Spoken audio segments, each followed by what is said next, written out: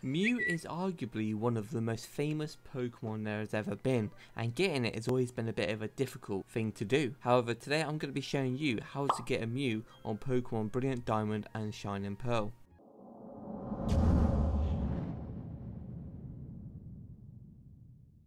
So getting Mew is really really easy. All you need to have is a save file from either Pokemon Let's Go Pikachu or Let's Go Eevee.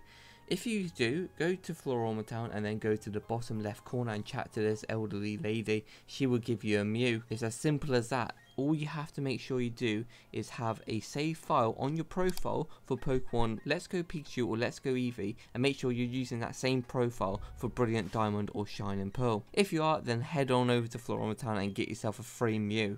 That's how to get Mew on Pokemon Brilliant Diamond and Shining Pearl. If you're new around here, then I upload simple Pokemon guides for all different Pokemon games, so be sure to check them out. Thank you everyone for watching.